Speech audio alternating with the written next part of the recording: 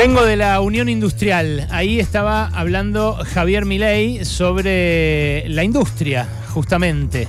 En el Día de la Industria, hoy 2 de septiembre, una fecha en la cual habitualmente los dueños de las fábricas celebran ese eh, carácter eh, transformador que tiene su sector, eso que hace que a los países ricos se les diga países industrializados, ¿no? que se usan habitualmente como sinónimos. Bueno, todos los países eh, saben que agregando valor, eh, que eh, haciendo valer el trabajo de su gente, que innovando, que llevando adelante procesos productivos más eficaces, más eficientes, que acelerando también la producción para que haya más para todos, se hacen más ricos. Y eh, por eso eh, nuestra industria eh, es considerada un valor por mucha gente que trabaja en ella. En el sector servicios, por ejemplo, hoy el sueldo promedio es de 500, 600 lucas. Esto incluye al comercio, que es el sector que más emplea gente. Pero en la industria el salario promedio es más del doble el millón y pico de personas que trabajan en fábricas o que trabajan en el sector fabril en general, gana mucho más que el que trabaja en un comercio, tiene mejores condiciones porque en general está más cantidad de veces en blanco, eh, tiene un convenio colectivo que le hace acceder a vacaciones, a aguinaldo, a obra social, a mejores condiciones de trabajo y demás. Y bueno, también eh, históricamente eh, fue el que eh, tuvo más estabilidad en el empleo. No en vano, la tradición sindical argentina y el peronismo están asociados a las fábricas. Ahora, lo que vi recién en la Unión Industrial es muy particular. Yo creo que se había juntado un montón de gente porque todos teníamos el mismo morbo íbamos a ver cómo eh, aplaudían a un tipo que los está fundiendo, un montón de tipos que se están fundiendo.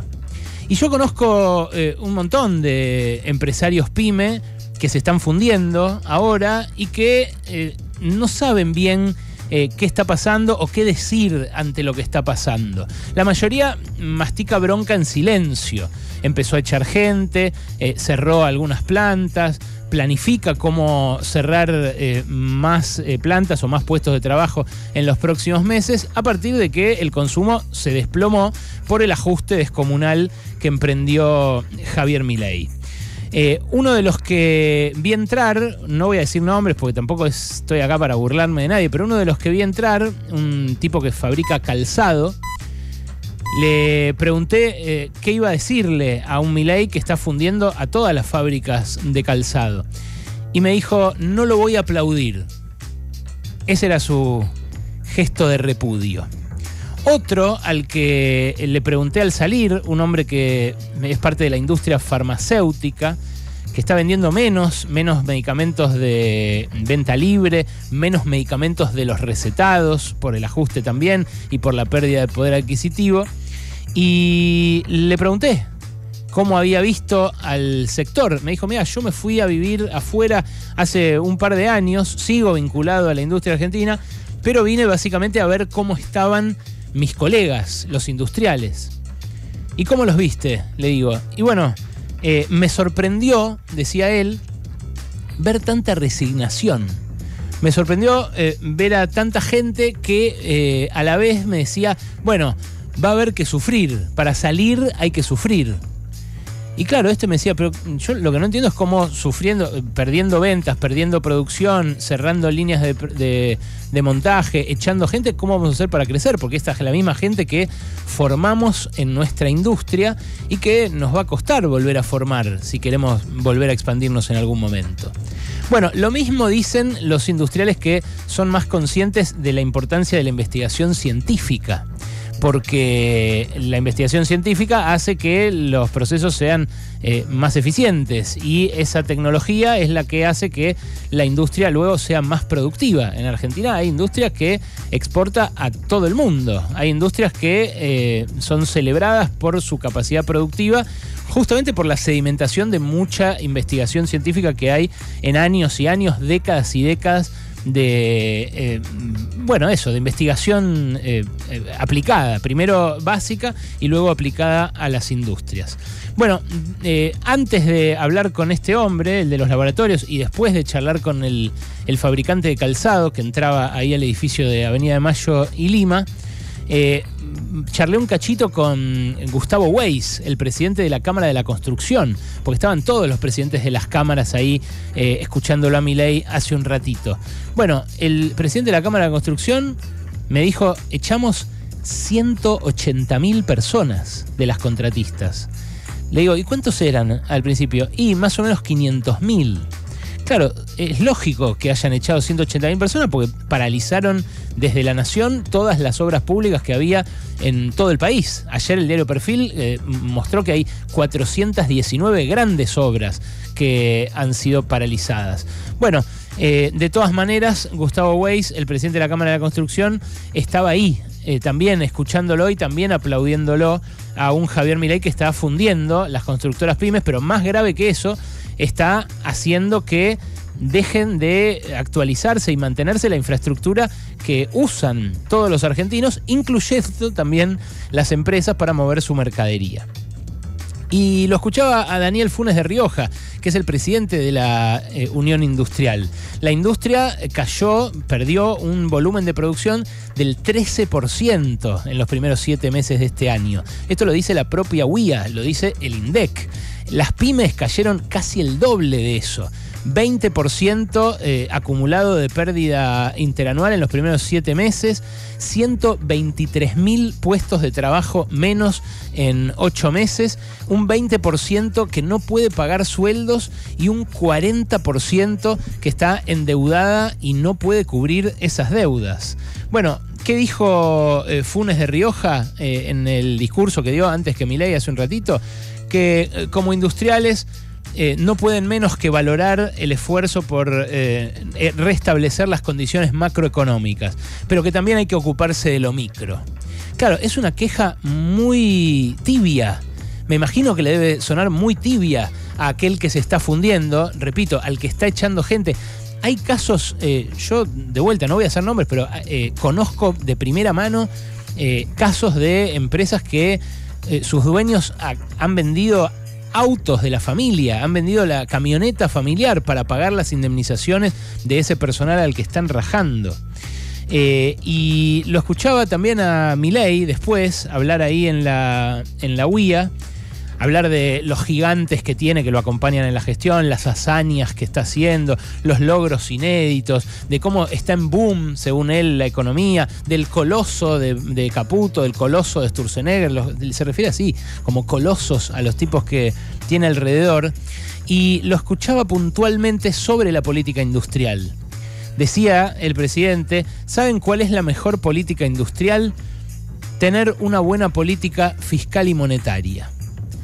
O sea, la mejor política industrial es no tener una política industrial. Él lo que dice es que el Estado solo tiene que fijar las condiciones, nivelar la cancha, como decía Macri en su momento, y que después ahí son las empresas las que tienen que ocuparse de todo. Bueno, esto es exactamente lo que ya hace décadas el mundo rico dejó de hacer.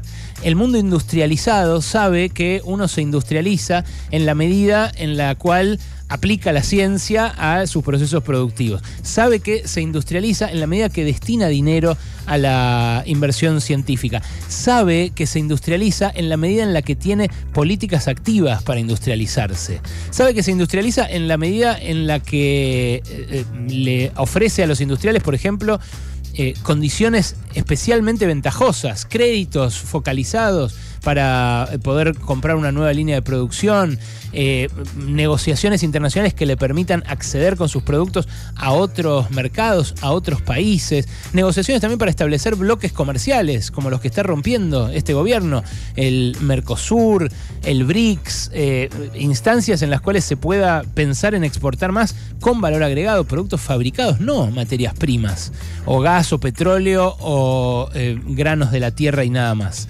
Bueno, eh, eso que hace mi ley eh, es algo que ya han hecho un montón de gobiernos antes. No es en absoluto novedoso, no es en absoluto disruptivo decir que no hay que tener política industrial. Es lo que hicieron todos los gobiernos anti-industria.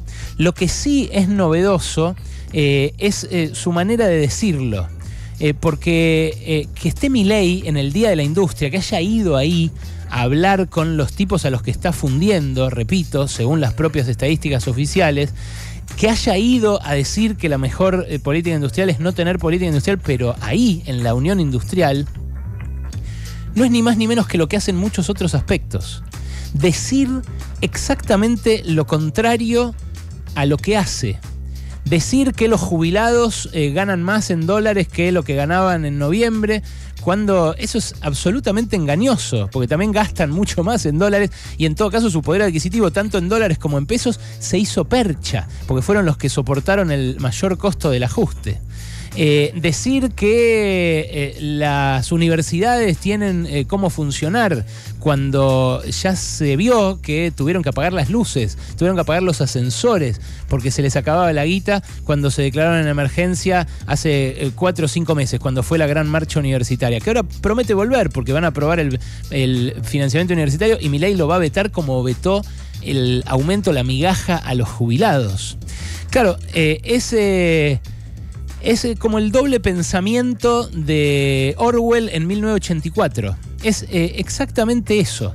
Eh, es apelar a volvernos un poco locos diciendo con mucho énfasis algo y también con mucho énfasis exactamente lo contrario.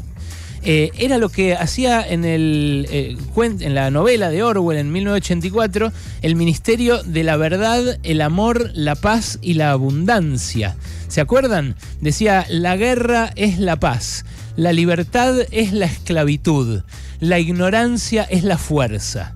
Y es eso, un gobierno que en nombre de la libertad cercena cada vez más la libertad de manifestarse, la libertad de hacer huelga, la libertad de eh, estudiar para quien no puede pagar en una universidad privada, por ejemplo, sus estudios de grado o de posgrado.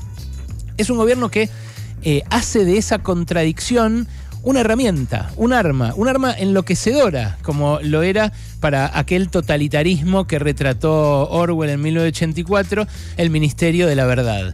Eh, es eh, algo de lo cual un montón de gente todavía no puede escapar, como esos empresarios que resignados fueron a aplaudir al tipo que los está fundiendo, al tipo que les está diciendo a ellos, que son industriales, que saben que hace falta política industrial, que la mejor política industrial es no tenerla.